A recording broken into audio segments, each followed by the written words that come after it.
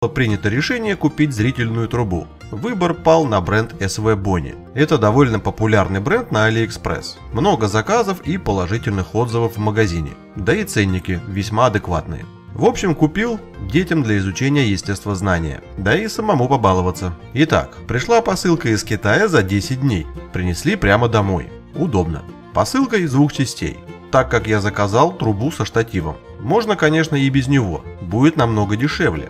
Большом пакете находится коробок с трубой, в маленьком, соответственно, сам штатив. Труба приходит в сумке-переноски из полиэстера. Это удобно. Также продавец кладет в комплекте защитный колпачок для окуляра. Мелочь, а приятно. Сумка имеет лямку для переноски на плече. При желании ее можно отстегнуть. Внутри сумки находится сама труба, инструкция и салфетка. Салфетка тут совсем обычная, для протирки оптики. Инструкция тут вся на английском языке. То есть товар предназначен для глобального, а не только для внутреннего китайского рынка, что подтверждает многочисленные отзывы о товаре со всего мира. Сама же труба довольно компактная и не тяжелая. Вес ее всего 1 килограмм.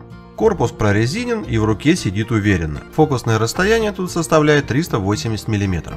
Увеличение от 25 до 75 крат. Диаметр объектива составляет 70 мм. Стеклянная оптика в нем с многослойным просветлением, что подтверждает зеленоватое отражение на линзах. У объектива также имеется сдвижная бленда, которая поможет при боковой засветке.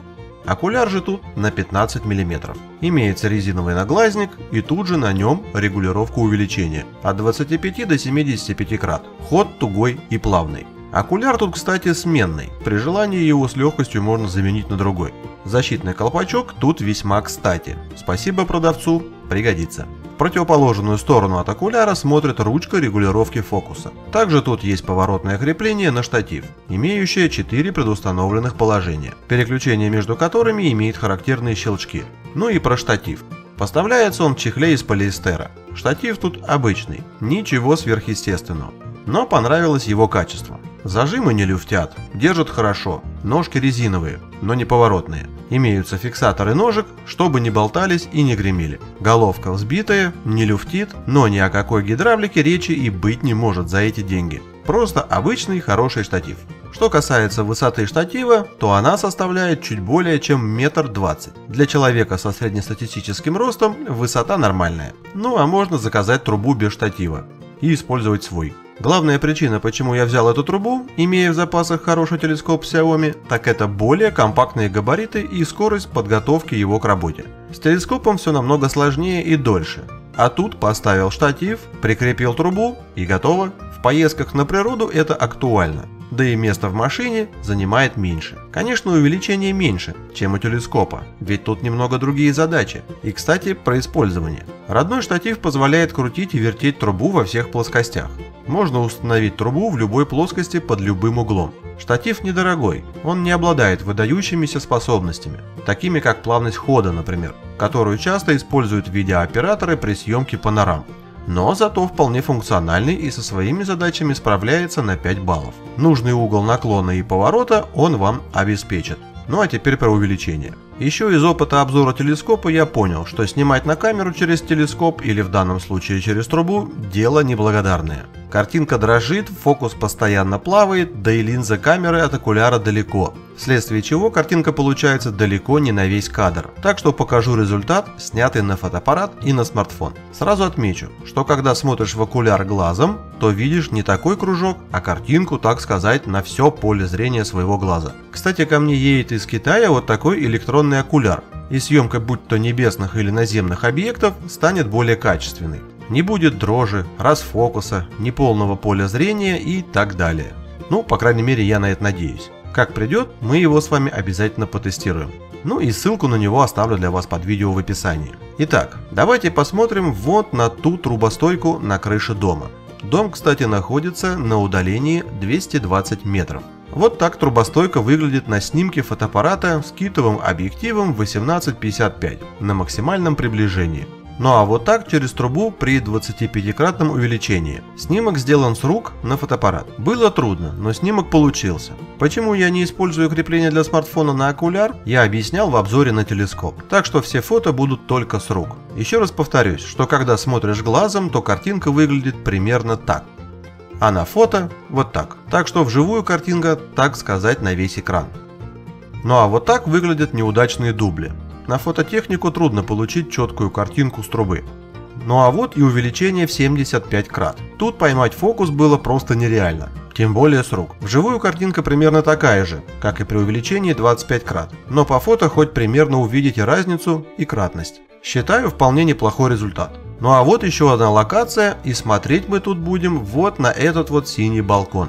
Этот балкон на удалении 260 метров. Попробуем взглянуть на него через трубу. Вот снимок, сделанный при 25-кратном увеличении. Вполне достойный результат. Каких-то ярко выраженных операций не наблюдается. Картинка четкая и без искажений. Этот снимок также сделан с рук, но уже на смартфон. Поймать фокус было проблематично, но вроде получилось. Любители фетиша ликуйте. Сейчас посмотрим поближе на эти винтажные труселя. Это увеличение в 75 крат. На таком увеличении опять же практически невозможно поймать фокус на камеру. Это лучший получившийся снимок. Вживую картинка намного приятнее. Без электронного окуляра сделать качественный снимок практически невозможно. Но что сфоткал, то сфоткал. С резкостью понятно, вживую она лучше. А вот хроматические аберрации по краям есть, как на фото, так и вживую.